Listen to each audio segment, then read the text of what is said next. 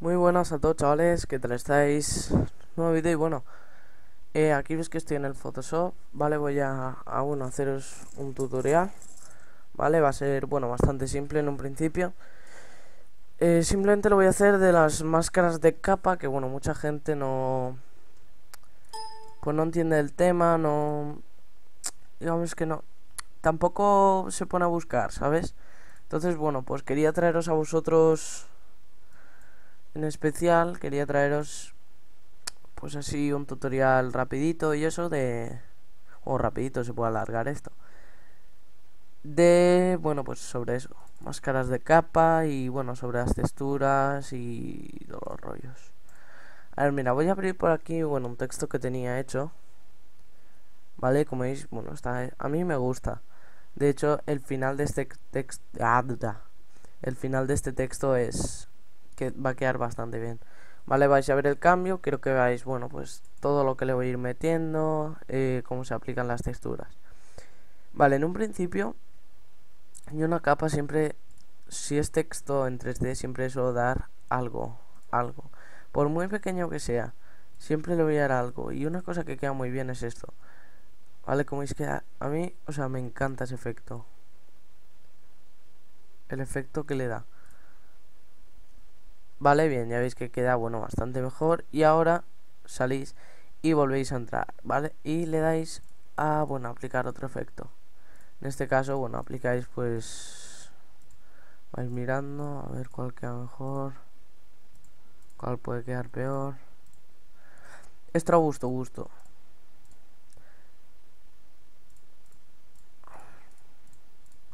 Estos son ya blancos y negros poco podéis tocar esto, también sobre el tema texturas. Por ejemplo, meterle un tipo de textura así, ¿vale? Eh, la suavizáis un poquito así. Un poco de brillo, a ver. Bueno, sí, ya digo, podéis hacer una barbaridad de, de cosas con Photoshop. Yo en este caso lo voy a dejar así. Y bueno, vamos a ir a lo que viene siendo ya esto.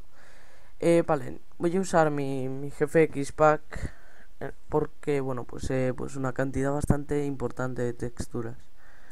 En aquí empezáis a ver agua, ladrillos. A ver. Una que esté así bien. Que un efecto bonito. Mira, esta me gusta mucho cuando le metes el color correction las partes rojitas se quedan más claras y las otras, no sé, como, o sea, negro, digamos, y con así las partes, un poco de textura de volcán. Esa me gusta bastante, pero bueno, a gusto de los colores. a ver si encuentro alguna que me agrade visualmente. Mm. Oh, que me agrade me gustan varias ya, o sea, ya he visto varias que me gusten. Pero no... Creo que no son apropiadas para la letra. Por ejemplo, esta es más apropiada, ¿vale? Bien, la arrastráis y, bueno, la ponéis encima la letra. Ponéis el tamaño por aquí, bueno, más o menos ya la vais ajustando. Si queréis, bueno, en este caso quiero que sea así. Y, vale, mucha gente lo que hace es hacéis así, seleccionáis, abrís esto y hacéis así.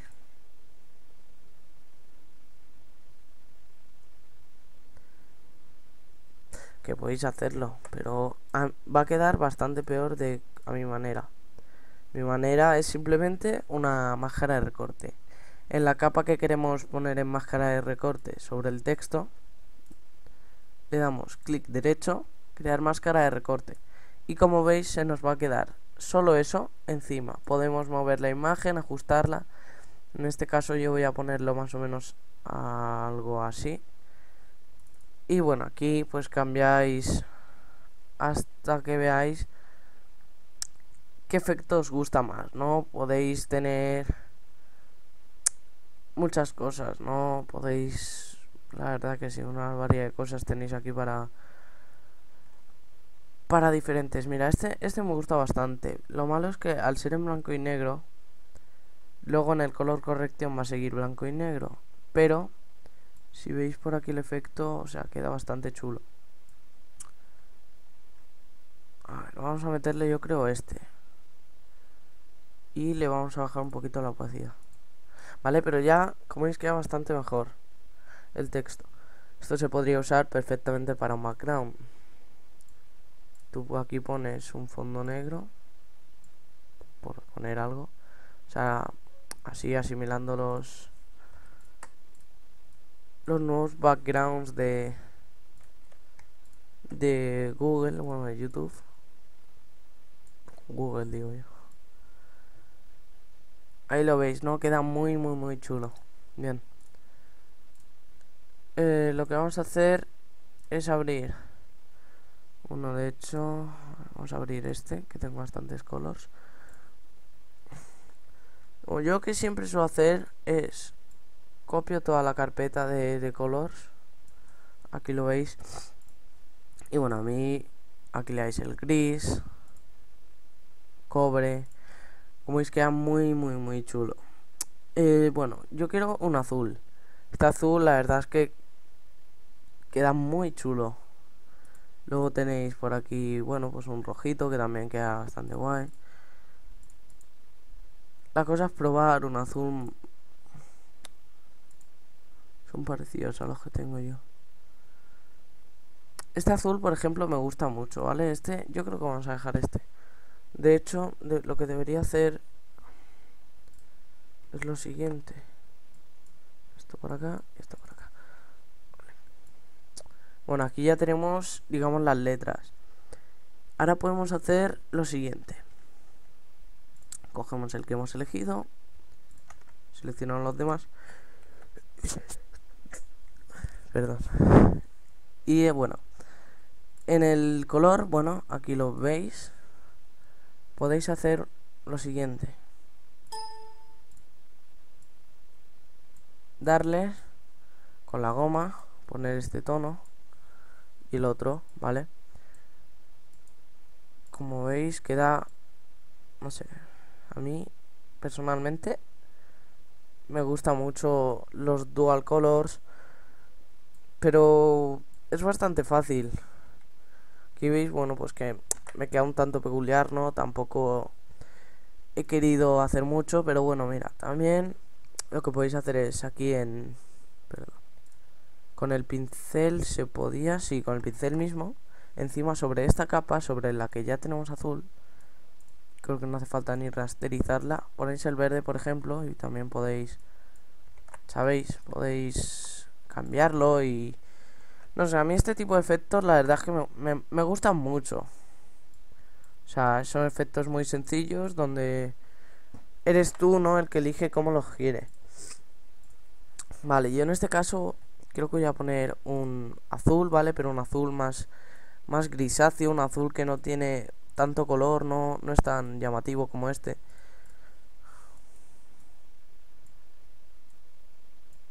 Vale, así no se nota mucho el, cambio.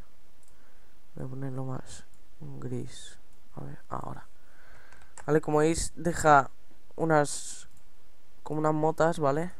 Más azules que otras, otras más por ejemplo, estas son más brillantes. Estas son más oscuras. Pues bueno, las puedes poner gris, ¿no? Como que cuando viene la luz. Esto, por ejemplo, en la S solo tocaría las que no se ven mucho. Por... Bueno, alguna, alguna suelta, pero no... Dos por aquí voy a poner. Esto, por ejemplo, también. Esto por aquí.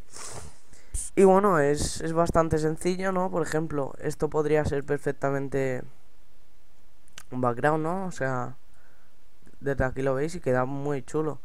Aquí, yo qué sé, ponéis... Ponéis lo que sea. Por ejemplo, GFX. Uy. Se me ha rayado. Vale. Y ponéis una fuente, pues como escrita, ¿no? O sea, algo así podéis poner. Lo ponéis por aquí abajo o cualquier cosa le dais por ejemplo